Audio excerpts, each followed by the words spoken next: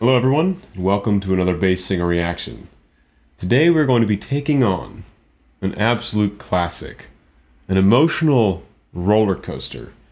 One of the most iconic songs ever written, originally by Simon and Garfunkel, with a number of amazing new renditions having been done in the last few years. Primarily Disturbed, and Pentatonix has done a cover. I've even done a cover of this. Tommy P did an incredible acapella cover of this, which I'll likely be reacting to at some point. Shouts to Tommy P. Fellow bass gang member and a, a good friend at this point. Um, so today we are going to be checking out Pentatonix's version of The Sound of Silence. And uh, this is one akin to most of the videos I've seen. Like, I mean, I've been in the acapella world for a while, so I've seen pretty much all the these uh, songs that I'm reviewing and giving analysis and critique and reacting to. It's not just a reaction. I'm going to keep reminding people of that in the start because there's always a few people who are like, why are you taking so long? Why are you talking so much? And it's because I'm not just reacting, I'm actually giving a lot of feedback and uh, digging deep into what's happening musically. So that's why they take so long. So for the 98% of you that love the analysis, stick around, much, much more to come. And for the 2% of you that really don't like the analysis, there are plenty of other reactors to watch. and I wish you the best. So here we go. Let's go ahead and dive in.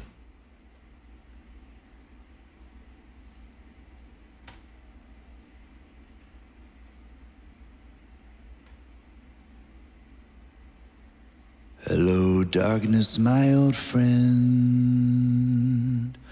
I've come to talk with you again.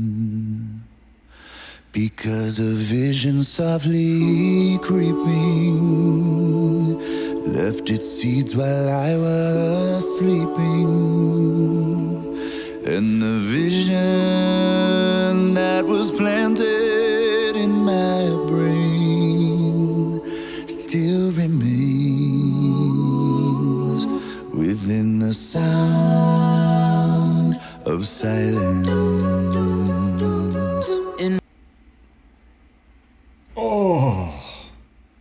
Dude, Pentatonix kicks me right in the emotional nards. Every time.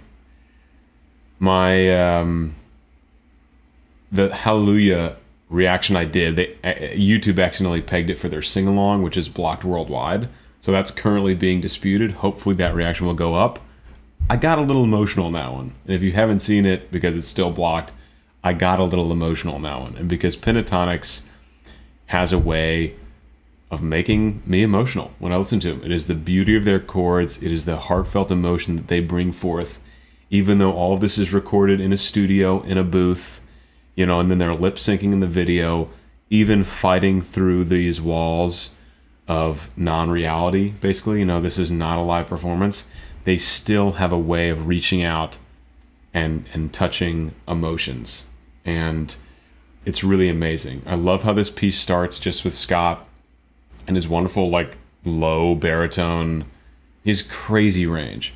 Hello, darkness, my old friend. Hello. F sharp. So this is the this is the standard key that this one's done in F sharp, F sharp minor, A major, and uh, he sounds glorious in that low range, in that low chest range for him. so he has a he has a beautiful opening, and I love that they start this bare bones. It sets up what's my word contrast for later. So it gives this song a lot of range to build towards towards that big climax. We'll probably get in verse verse 4 usually. Every every people do a different number of verses sometimes on these covers. I don't remember if they do all of them or not. And then when the other voices come in there's just nothing more beautiful than when Pentatonix comes in on and they're all on one unified vowel like an ooh um, ooh, oh, ah, anything, any any vowels where they're all blending together. There's just there's just no group that has a better blend, and and there's no group that I've seen so far that has a way of really capturing emotion in their in their music videos and in, in their in their raw audio. If you just listen to this piece, so such a great intro. Let's back up just a bit to get into the transition.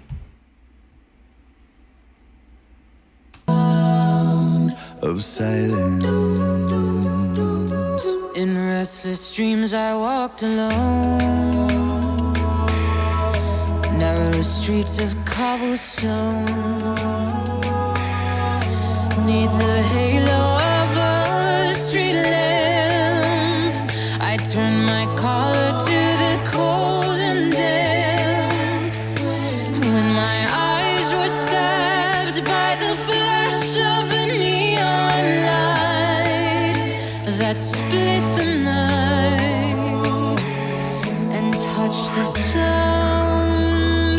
silence.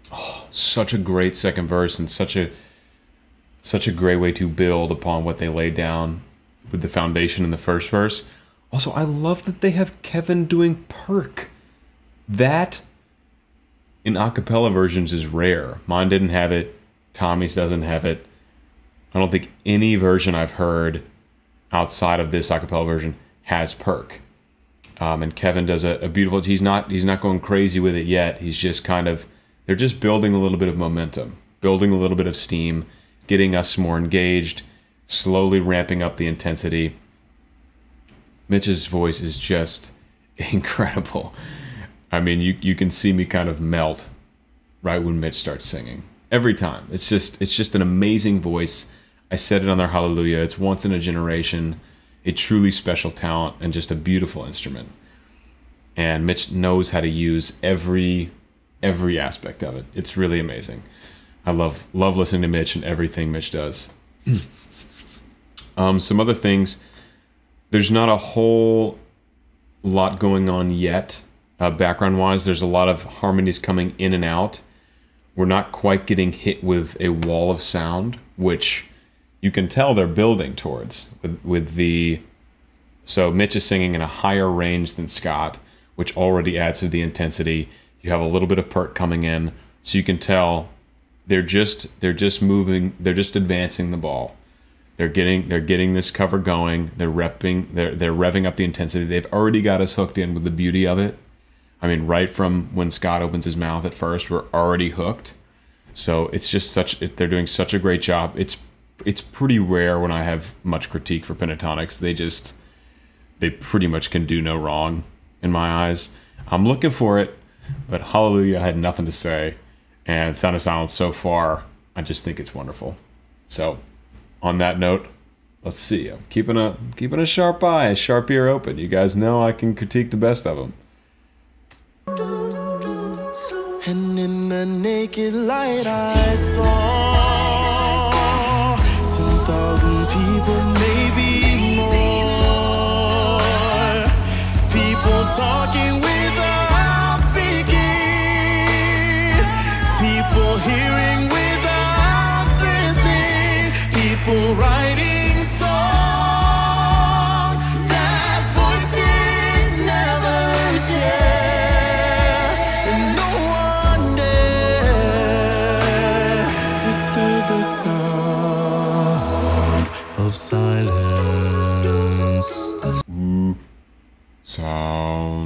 to an E2. Matt. Listen, Matt had huge shoes to fill coming in after Avi, and they are different singers. They have different voices, and Matt has just done an exceptional job. He's so good. He's got he's so versatile. He can do he can do the kind of I've talked about it before, like the the clean but jumpy bass um, that Avi was was so famous for. And he has this.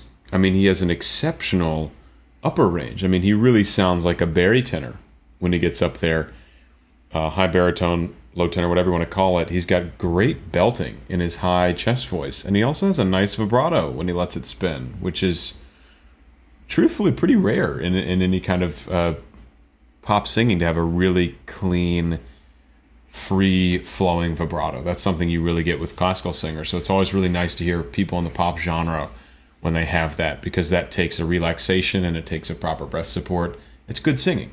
Uh, clean, steady vibrato comes from good singing, and you can tell when it's when it's forced.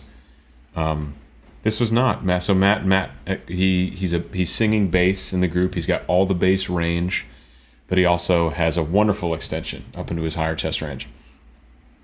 You can tell the intensity's revving up.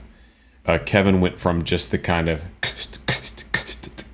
like that kind of perk to like now we've got some like we got some body hits, we got some big claps, we got some we got some clashes, uh, crashes, excuse me.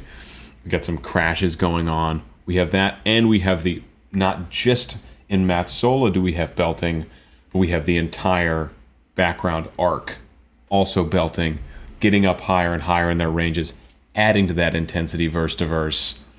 And I think that's verse three. So we should have two more to go.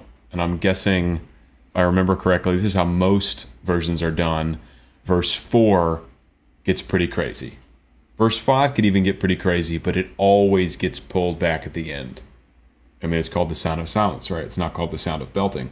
So at the end, they usually leave us with that kind of ominous yet beautiful, yet haunting vibe. And I have no doubt that Pentatonix is going to get us there.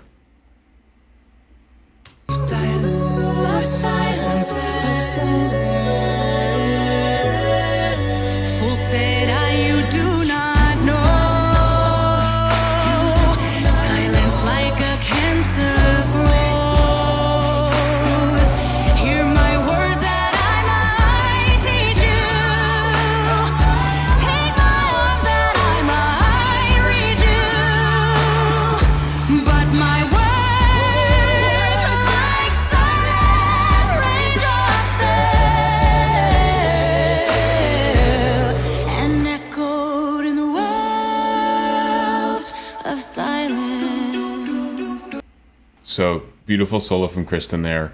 Not a ton arrangement wise and intensity wise, not a ton differently, other than now we have Matt back to doing a bass line, a full bass line, and not singing the solo. So we have we've gotten an I mean, the bass line's a very important part of every a cappella song. I mean ninety nine point we'll say all the time, bass line is always important.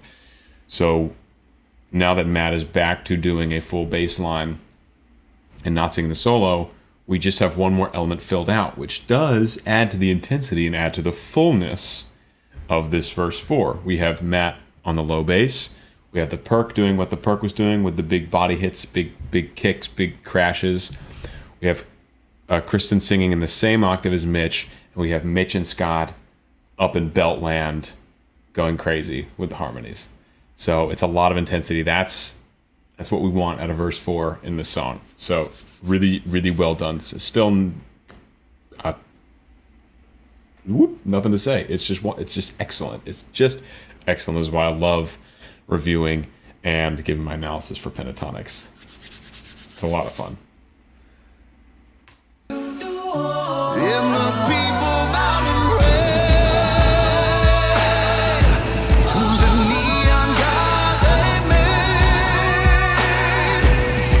Interesting. You can hear this is a vocal thing. You can hear Scott doing a little bit of what's called vowel modification when he goes up to what's the word? Instead of meh, like we say made, the first the first vowel that's really an open E. Eh, made, made. And he's going eh. It's like a closed E. So whatever pitch that is. High F sharp, F sharp four. Scott must feel more comfortable with a bit more of a closed sound, an eh instead of an eh. It's subtle, but you can hear if you're paying attention, it goes a little bit what you might expect for vowel wise on that F sharp four. Let's go back and listen to this and just listen and just try to notice that he's just closing the vowel down a little bit, which for his vocal track, for his voice, he knows his voice better than anyone. I'm sure that's how he gets his best sound on that vowel, on that pitch, which is the kind of thing you're doing as an advanced singer. You're trying to maximize each vowel on each pitch to make every note in your entire range sound good no matter what you're no matter what you're doing. It's i think of it kind of like vocal engineering. That's how i approach singing opera. That's how classical musicians sing it. And it's so great when you hear a pop singer that has taken that time and care and is not just relying on natural talent a lot of pop singers do and that's kind of what's valuable about the pop voice is it is kind of this natural thing and We value how that natural sound is. There's so many amazing natural singers. You can tell Scott's put a little more work into figuring out what works for him in certain parts of his voice. So let's go back and just listen on that um in God's they made and you just listen to how he closes that vowel down ever so slightly. And the people bow to the neon god they made. So if it were the same vowel, normally you would think the same as prayed, um, they made, but it's prayed, they made, and it's a little closed. It's just a little different. Those three vowels, three, it should be the three same vowels, and, and that last one's just slightly different.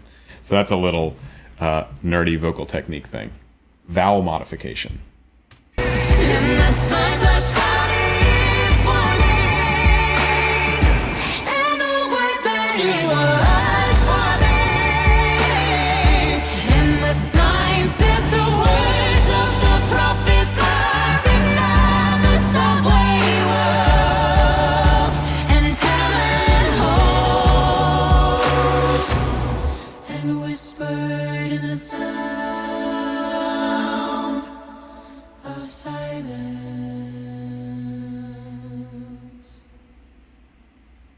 Beautiful, beautiful, beautiful job. So, first verse, Scott solo. Second verse, Mitch solo, up an octave. Kirsten, no, Matt, who went third? Matt went third, I think. Matt back down an octave. Kirsten back up an octave. If I have the order wrong, forgive me. I'm trying to figure out uh, orders here. And then um, this last one, Scott starts the solo, but then it's the three of them. It's Kirsten, Scott, and Mitch all singing the solo together, hitting crazy harmonies, high belts. Matt's still doing that very movie bass line. Kevin's hitting all the big perk sounds.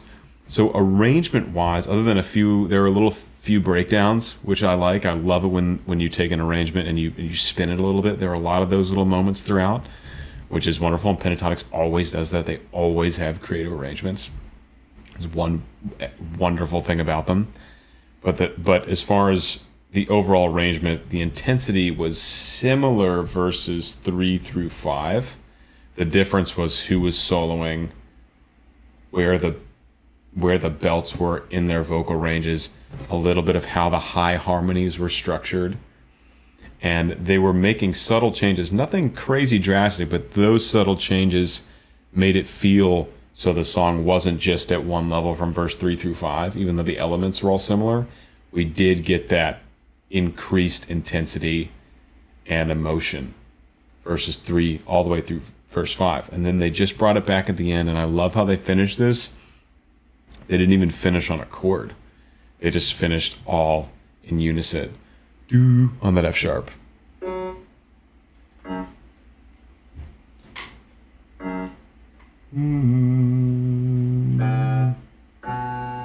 just kidding. Sorry, F sharp is the five. They finished. Did they finish on the B natural together? Yeah. Okay. So they all they all finished in unison on that B natural.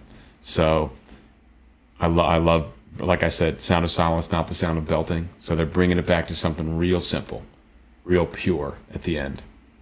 Guys, it's another amazing song by Pentatonix. I hope to get around to a lot of their work. Remember, I'm reading the comments, I'm reading your suggestions, I'm getting around to them once per week. And um, thank you guys so much. Hope you enjoyed this. Hope you learned something. And I'll see you in the next one. Bye.